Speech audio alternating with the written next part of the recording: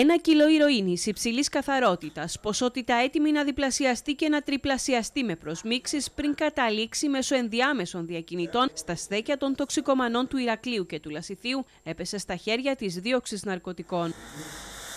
Ταυτόχρονα συνελήφθη και ουσιαστικά εξουδετερώθηκε αφού αποκαλύφθηκε η δράση του σκληροτράχυλος νεαρός Ρωμά που θεωρείται επαγγελματίας διακινητής ναρκωτικών. Δεν είχε ποτέ πριν απασχολήσει την αστυνομία και έτσι θεωρείται ότι περνούσε απαρατήρητος, αναλαμβάνοντας επικίνδυνες αποστολές για τη διακίνηση μεγάλων παρτίδων ηρωίνης, όπως έγινε με το φορτίο που μπλόκαραν σήμερα το πρωί οι άνδρες της δίωξης. Πρόκειται για έναν 28χρονο Ρωμά, μόνιμο κάτοικο Εροκάστου Θεσσαλονίκης, ο οποίος ταξίδευε όπως φαίνεται σε όλη την Ελλάδα με μόνη ενασχόληση τη μεταφορά των ναρκωτικών.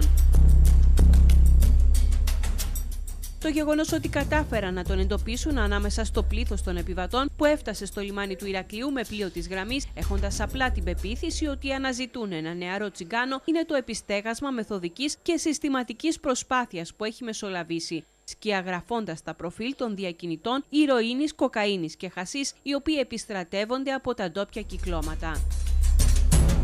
Ο 28χρονο κουβαλώντας τις πλάκες της ηρωίνης μπήκε σε ταξί και κατευθύνθηκε στο κέντρο του Ηρακλείου. Στη συμβολή για μαλάκι και καλοκαιρινού, αστυνομικοί τον εγκλώβησαν και τον συνέλαβαν αφού η έρευνα στο σακίδιό του αποκάλυψε το λαβράκι. Ο κατηγορούμενος αρνήθηκε ότι μετέφερε ναρκωτικά και όπως είπε στη διάρκεια του ταξιδιού, άφησε ανεπιτήρητο το σακίδιο με συνέπεια κάποιος να τοποθετήσει τα ναρκωτικά εν αγνία του.